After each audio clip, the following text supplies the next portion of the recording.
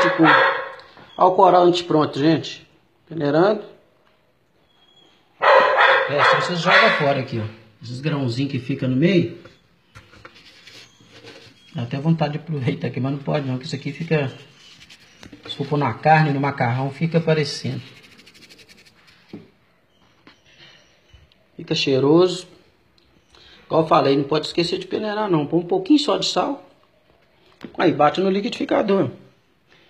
Pega o corante quando tiver no ponto, o, o, o urucum. Torrei nessa panela aqui o urucum primeiro, sem deixar queimar. Depois torrei o fubá. Não pode pôr o fubá cru não, tem que torrar. Entendeu? E aí, negão?